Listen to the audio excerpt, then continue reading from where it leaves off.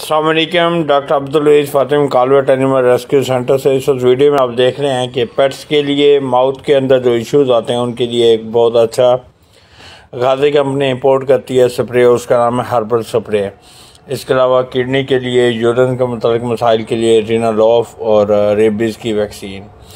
इन तीन में से कोई भी शय, किसी भी एनिमल लवर को, किसी भी वेट को चाहिए तो हमारे एड्रेस पे रबता कर सकते हैं, हमारे व्हाट्सएप पे रबता कर सकता है। शुक्रिया।